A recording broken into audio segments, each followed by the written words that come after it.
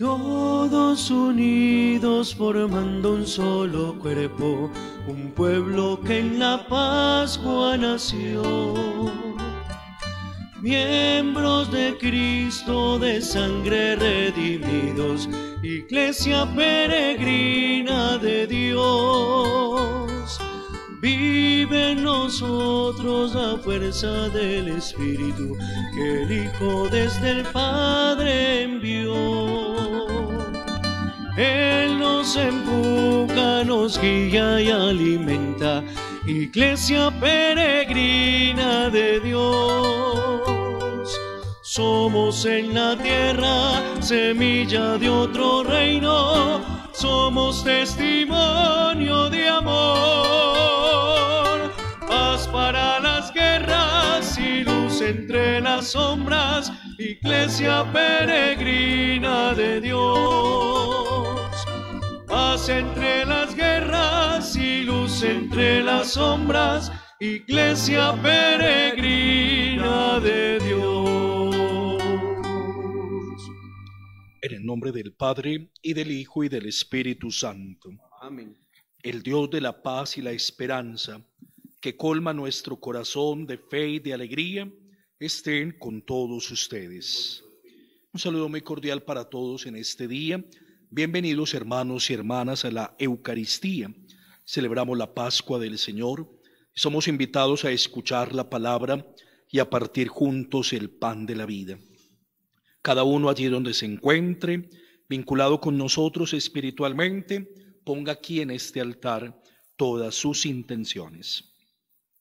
Oramos por la vida y las intenciones de Adela Zamora y también por la resurrección a la vida eterna de Carolina Marín Suárez unidos a Hilda Suárez, de María del Carmen Velázquez, Mario Vallejo, Héctor Mario Vallejo, unidos a su familia, de Renato Lopera, Ana Ruth Patiño y de Yanira Puerta, unidos a la familia Patiño, y de Aleida de Jesús Fernández Otálvaro, Vicente Fernández y Ana Rita Otálvaro, unidos a la familia Henao Fernández. Preparémonos, hermanos y hermanas, a celebrar dignamente el misterio del amor de Dios manifestado en Cristo Jesús, pidiéndole al Padre que nos conceda la gracia de la reconciliación y de la paz. Señor, ten misericordia de nosotros. Hemos pecado contra ti. Muéstranos, Señor, tu misericordia. Y danos su salvación. Dios Todopoderoso, tenga misericordia de nosotros, perdone nuestros pecados y nos lleve a la vida eterna.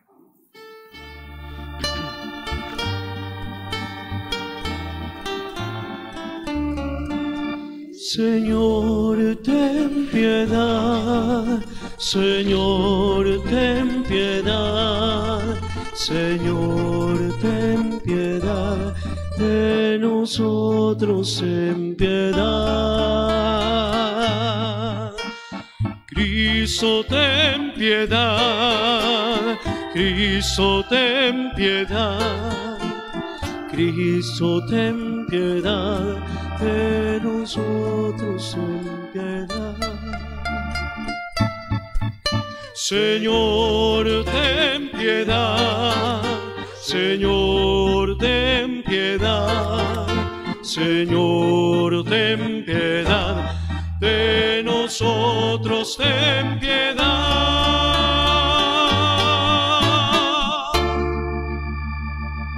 Alabemos y bendigamos a nuestro Dios, diciendo todos, Gloria a Dios en el cielo, y en la tierra paz a los hombres que ama el Señor. Por tu inmensa gloria te alabamos, te bendecimos, te adoramos, te glorificamos. Te damos gracias, Señor Dios Rey Celestial, Dios Padre Todopoderoso, Señor Hijo único Jesucristo, Señor Dios Cordero de Dios, Hijo del Padre, tú que quitas el pecado del mundo, ten piedad de nosotros. Tú que quitas el pecado del mundo, atiende nuestras súplicas. Tú que estás sentado a la derecha del Padre, ten piedad de nosotros. Porque solo tú eres santo, solo tú Señor, solo tú Altísimo Jesucristo, con el Espíritu Santo en la gloria de Dios Padre. Amén. Oremos. Señor, tú que te has dignado redimirnos y has querido hacernos hijos tuyos, míranos siempre con amor de Padre y haz que cuantos creemos en Cristo tu Hijo, alcancemos la libertad verdadera y la herencia eterna. Por nuestro Señor Jesucristo, tu Hijo, quien vive y reina contigo en la unidad del Espíritu Santo y es Dios por los siglos de los siglos. Lectura de la profecía de Isaías. Digan a los inquietos, sean fuertes, no teman. He aquí su Dios. Llega el desquite, la retribución de Dios. Viene en persona y lo salvará. Entonces se despegarán los ojos de los ciegos, los oídos de los sordos se abrirán. Entonces saltará el cojo como un ciervo y cantará la lengua del mudo. Porque han brotado aguas en el desierto y corrientes en la estepa. El páramo se convertirá en estanque, el suelo sediento en manantial. Palabra de Dios. Alaba alma mía al Señor. El Señor mantiene su fidelidad perpetuamente, hace justicia a los oprimidos, da pan a los hambrientos. El Señor liberta a los cautivos. El Señor abre los ojos al ciego. El Señor endereza a los que ya se doblan. El Señor ama a los justos. El Señor guarda a los peregrinos. Alaba alma mía al Señor. Sustenta al huérfano y a la viuda y trastorna el camino de los malvados. El Señor reina eternamente tu Dios, Sión, de edad en edad. Lectura de la carta del apóstol Santiago. Hermanos míos, no mezclen la fe en nuestro Señor Jesucristo glorioso con la aceptación de personas. Supongan que en su asamblea entra un hombre con sortija de oro y traje lujoso y entra también un pobre con traje mugriento. Si ustedes atienden al que lleva el traje de lujo y le dicen, tú siéntate aquí cómodamente, y al pobre le dicen, tú quédate ahí de pie, o siéntate en el suelo y a mis pies. No están haciendo discriminaciones entre ustedes y convirtiéndose y convirtiéndose en jueces de criterios inicuos? Escuchen, mis queridos hermanos, ¿acaso no eligió Dios a los pobres según el mundo como ricos en la fe y herederos del reino que prometió a los que aman? Palabra de Dios.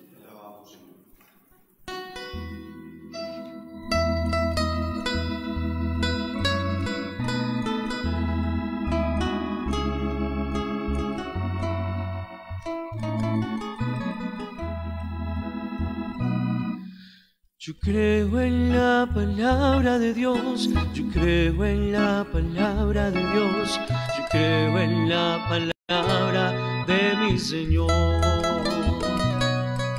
Yo creo en la palabra de Dios, yo creo en la palabra de Dios, yo creo en la palabra de mi Señor. Si soy fiel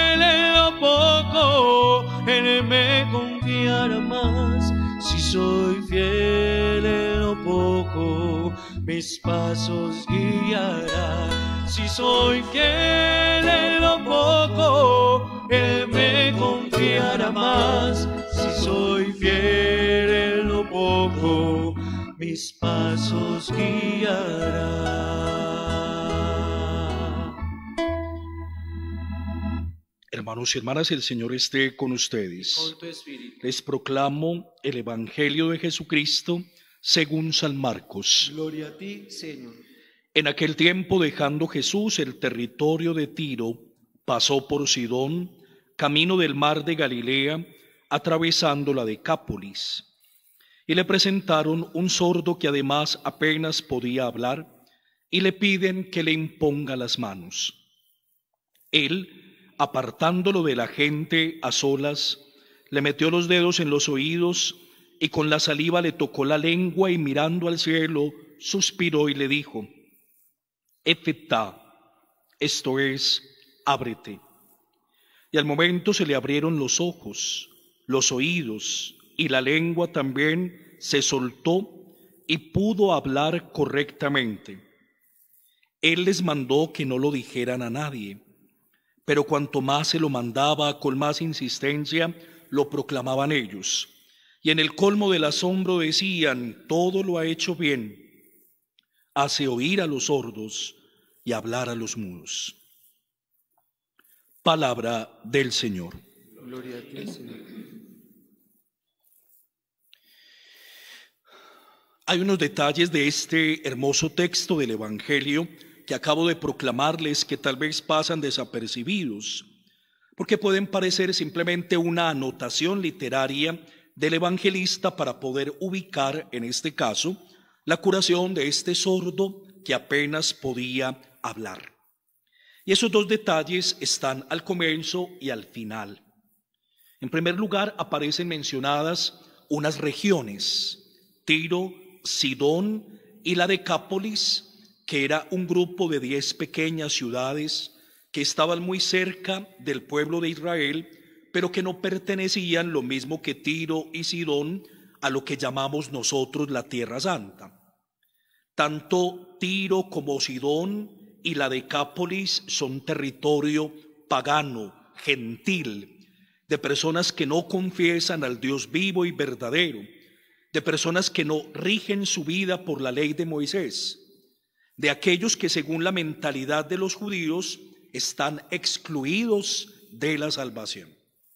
Y es muy interesante que aparezcan mencionadas, porque yo creo que aquí hay un gran mensaje que nosotros debemos acoger, y es que la presencia de Jesús en estos territorios nos está demostrando que Dios ha venido para todos, que como decía la carta del apóstol Santiago, y ahí hay una relación muy interesante, nuestro Dios, el Dios de Jesús, el Dios que es Padre del amor infinito, no hace acepción de personas. Para Dios no hay puros e impuros, dignos e indignos, miembros de un pueblo elegido y los otros viviendo en la oscuridad del paganismo. Para Dios unos no son hijos y otros sí esas divisiones, esas discriminaciones, esas segregaciones son humanas, no son de Dios. Y lastimosamente nosotros nos hemos amparado en Dios para ese tipo de comportamiento donde vamos sacando del corazón algunas personas por distintos motivos, algunos que puedan ser de alguna forma explicables, pero ninguno justificable.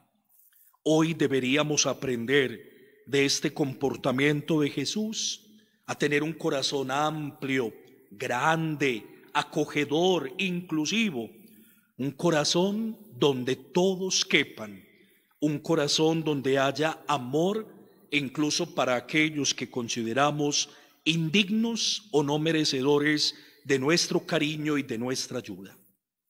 Ver a Jesús en estas tierras ver a Jesús proclamando la llegada del reino de Dios, donde al parecer no podría nunca llegar Dios a menos de que estas personas se convirtieran a la fe verdadera. Ver a Jesús liberando, curando, dignificando, restableciendo la vida de las personas, donde era impensable, según la mentalidad judía, que Dios pudiera llegar, nos está demostrando lo grande e infinito del amor de Dios por la humanidad y cómo quienes nos llamamos sus hijos y nos reconocemos discípulos, somos capaces también de ensanchar el corazón para que ningún ser humano se quede por fuera de nuestro cariño. Yo estoy convencido, hermanos y hermanas, que en una sociedad de discriminaciones, de segregaciones, de separaciones y divisiones, donde hacemos todo lo contrario a lo que recomienda el apóstol Santiago y vivimos de acepción de personas, incluso en nombre de la religión, tenemos que convertirnos a esta nueva manera de ser y de pensar que nos propone Jesús. Pienso como en nuestro país todavía hay segregaciones de tipo racial, hay segregaciones de tipo sexual, político, económico, social, como nosotros vamos como a partir de perfiles seleccionando las personas que consideramos dignas de nuestro cariño, de nuestro afecto, de nuestra ayuda, de nuestro servicio. Vamos como pidiendo la hoja de vida para poder determinar a quién amar o a quién no amar, a quién tenderle la mano o a quién no.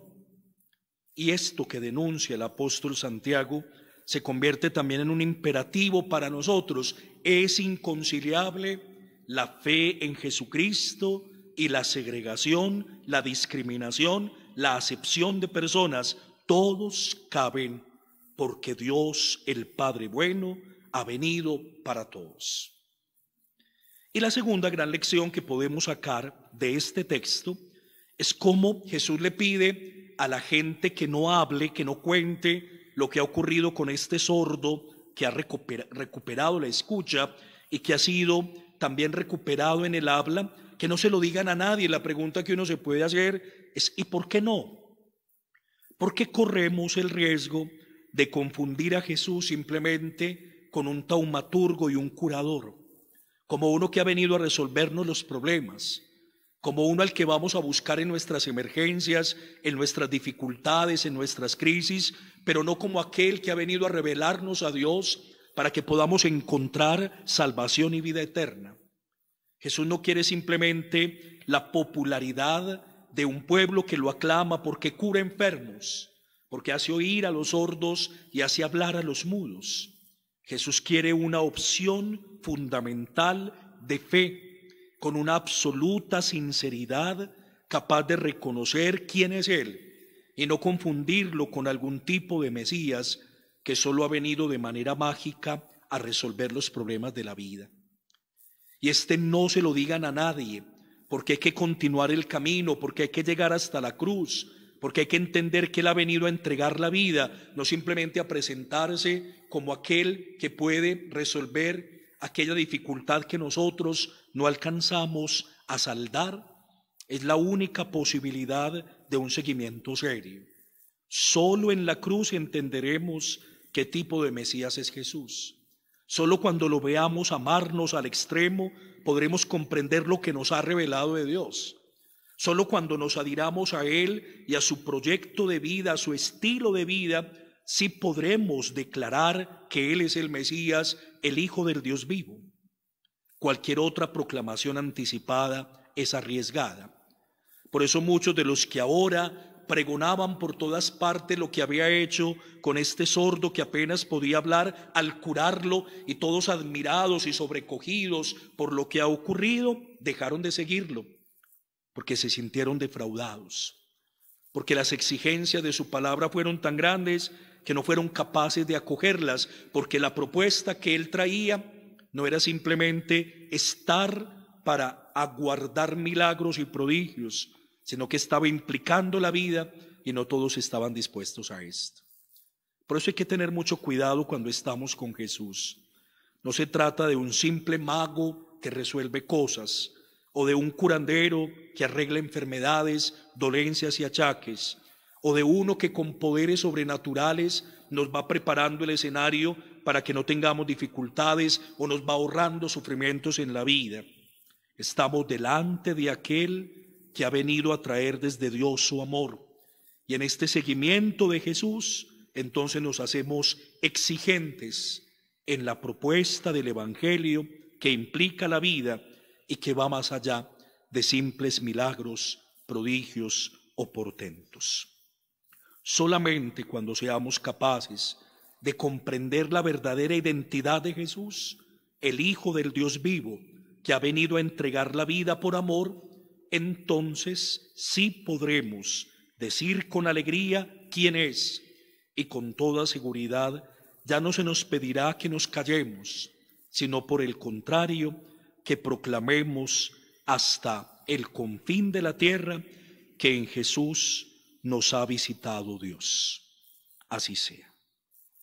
Profesemos en este día del Señor nuestra fe. Creo en un solo Dios, Padre Todopoderoso, Creador del cielo y de la tierra.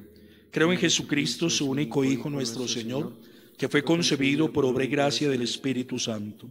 Nació de Santa María la Virgen, padeció bajo el poder de Poncio Pilatos, fue crucificado, muerto y sepultado. Descendió a los infiernos y al tercer día resucitó de entre los muertos, subió a los cielos está sentado a la derecha de Dios Padre Todopoderoso. Desde allí ha de venir a juzgar a vivos y muertos. Creo en el Espíritu Santo, la Santa Iglesia Católica, la comunión de los santos, el perdón de los pecados, la resurrección de la carne y la vida eterna. Amén. Llenos de confianza en el amor de Dios, presentémosle nuestras intenciones y las unimos a los dones del pan y del vino.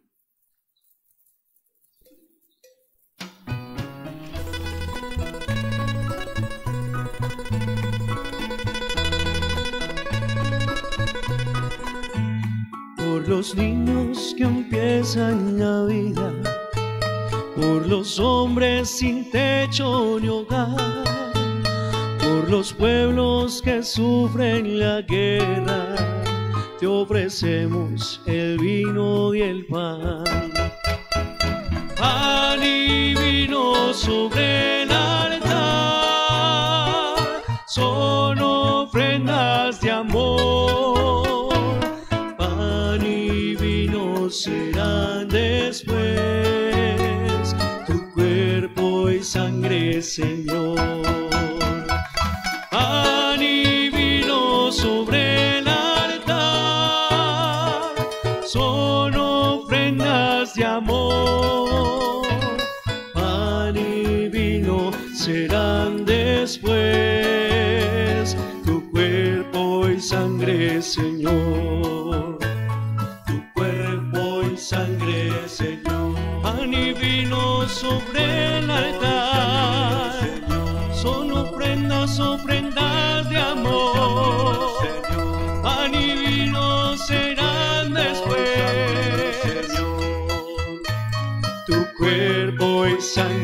Señor. Oremos. Oh Dios, fuente de la paz y del amor sincero, concédenos glorificarte por estas ofrendas y unirnos fielmente a ti por la participación en esta Eucaristía, por Jesucristo nuestro Señor. El Señor está con ustedes. Levantemos el corazón. Lo tenemos levantado hacia el Señor. Demos gracias al Señor nuestro Es Dios. justo y necesario. Te damos gracias, Padre fiel y lleno de ternura, porque tanto amaste al mundo que le has entregado a tu Hijo para que fuera nuestro Señor y nuestro hermano. Él manifiesta su amor para con los pobres y los enfermos, para con los pequeños y los pecadores. Él nunca permaneció indiferente ante el sufrimiento humano. Su vida y su palabra son para nosotros la prueba de tu amor. Como un padre siente ternura por sus hijos, así tú sientes ternura por nosotros. Por eso te alabamos y glorificamos, y con los ángeles y santos proclamamos tu fidelidad, diciendo.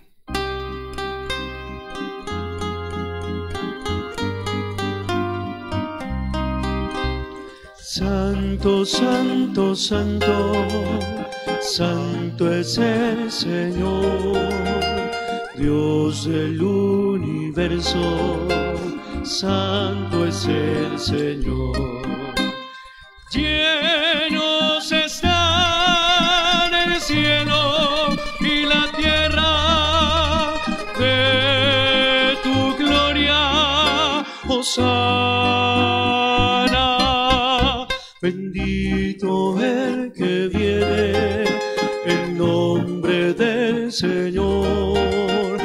Osana en el cielo.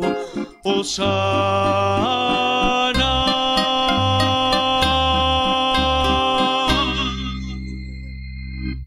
Te glorificamos, Padre Santo, porque estás siempre con nosotros en el camino de la vida, sobre todo cuando Cristo, tu Hijo, nos congrega para el banquete pascual de su amor. Como hizo en otro tiempo con los discípulos de Emaús, Él nos explica las escrituras y parte para nosotros el pan. Por eso, Padre, te suplicamos que santifiques por el mismo Espíritu estos dones y los conviertas en el cuerpo y en la sangre de tu Hijo muy amado. Él mismo la víspera de su pasión tomó pan de la mesa y dando gracias te bendijo, lo partió y lo dio a sus discípulos diciendo, tomad y comed todos de él porque esto es mi cuerpo entregado por vosotros.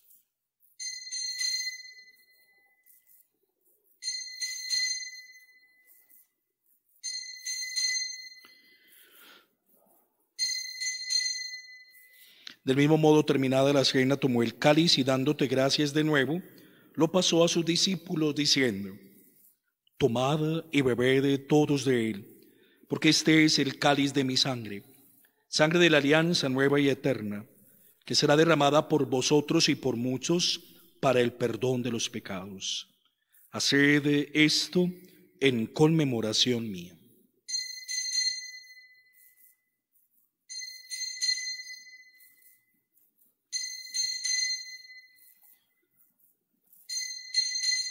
Aclamen el misterio de la redención cada vez que comemos de este pan y bebemos de este cáliz. Anunciamos tu muerte, Señor, hasta que vuelvas. Por eso, Padre, al celebrar el memorial de nuestra reconciliación, proclamamos la obra de tu amor y te pedimos que el Espíritu Santo nos congregue en la unidad de una sola familia. Fortalece a tu pueblo con el cuerpo y la sangre de Cristo y renuévanos a todos a su imagen Derrama tu bendición abundante sobre el Papa Francisco y nuestro obispo Ricardo. Que todos los miembros de la Iglesia sepamos discernir los signos de los tiempos y nos preocupemos de compartir en la caridad las angustias y las tristezas, las alegrías y las esperanzas de los hombres para mostrarles el camino de la salvación. Acuérdate, Señor, de las intenciones de Adela, también de quienes han muerto, especialmente Carolina, María del Carmen, Mario, Héctor Mario, Renato, Ana Ruth de Yanira, Aleida de Jesús, Vicente y Ana Rita, cuya fe solo tú conociste, admítelos a contemplar la luz de tu rostro. Y cuando termine nuestra peregrinación por este mundo, recíbenos también a nosotros en tu reino, donde esperamos gozar todos juntos de la plenitud eterna de tu gloria en comunión con la Virgen María, Madre de Dios, San José y todos los santos, te invocamos, Padre, y te glorificamos por Cristo, Señor nuestro. Por Cristo, con Él y en Él, a ti Dios Padre Omnipotente, en la unidad del Espíritu Santo, todo honor y toda gloria por los siglos de los siglos. Llenos de alegría porque tenemos un Padre bueno, que no hace acepción de personas, le decimos llenos de confianza, Padre nuestro, que estás en el cielo, santificado sea tu nombre, venga a nosotros tu reino, hágase tu voluntad en la tierra como en el cielo. Danos hoy nuestro pan de cada día, perdona nuestras ofensas, como también nosotros perdonamos a los que nos ofenden. No nos dejes caer en la tentación. Líbranos de todos los males, Señor, y concédenos la paz para que ayudados por tu misericordia vivamos libres de pecado, protegidos de toda perturbación mientras esperamos la gloriosa venida de nuestro Salvador Jesucristo.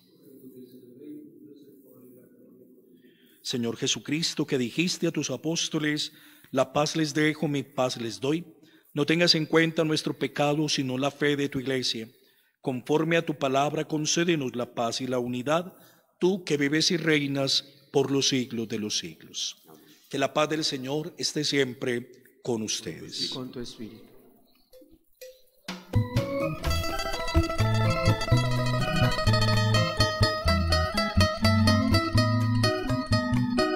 Es el Cordero de Dios que quitas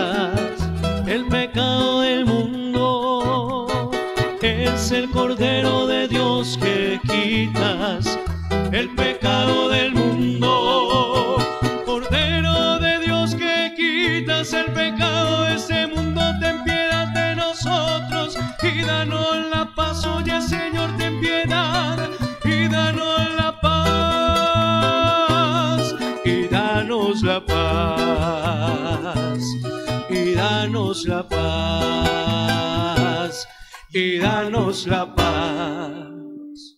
En medio de nosotros está Jesucristo, Él es el Cordero de Dios que quita el pecado del mundo. Dichosos los invitados a la cena del Señor. Señor, no soy digno de que entres en mi casa, pero una palabra tuya bastará para sanarme.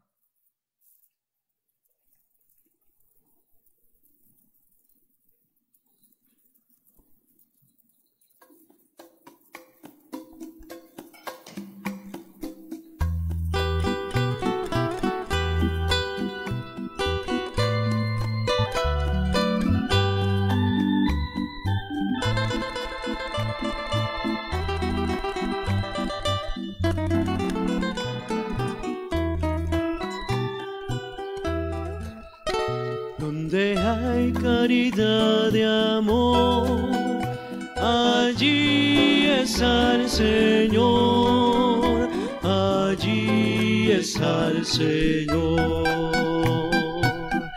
Una sala y una mesa, una copa, vino y pan.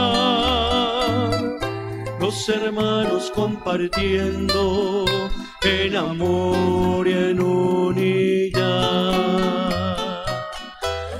Reúne la presencia y el recuerdo del Señor. Celebramos su memoria y la entrega de su amor. Donde hay caridad de amor, allí está el Señor, está el Señor.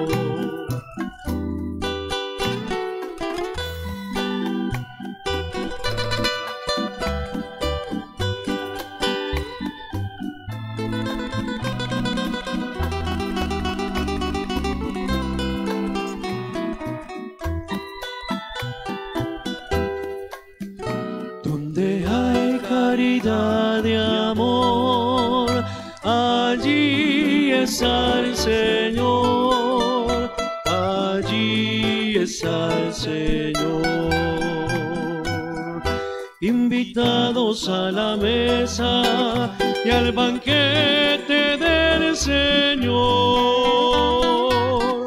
recordamos su mandato de vivir en el amor.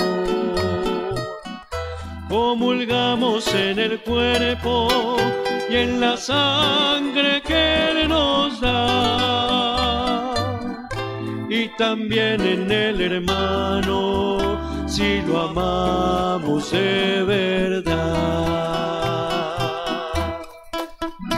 Donde hay caridad y amor, allí está el Señor, allí está el Señor.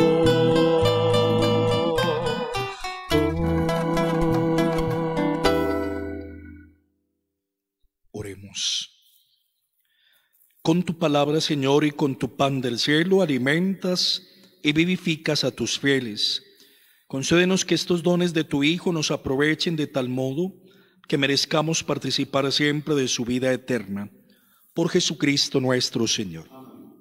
El Señor esté con ustedes. Con tu espíritu. Y la bendición de Dios misericordioso, Padre, Hijo, Espíritu Santo, descienda sobre ustedes y los acompañe siempre. Amén.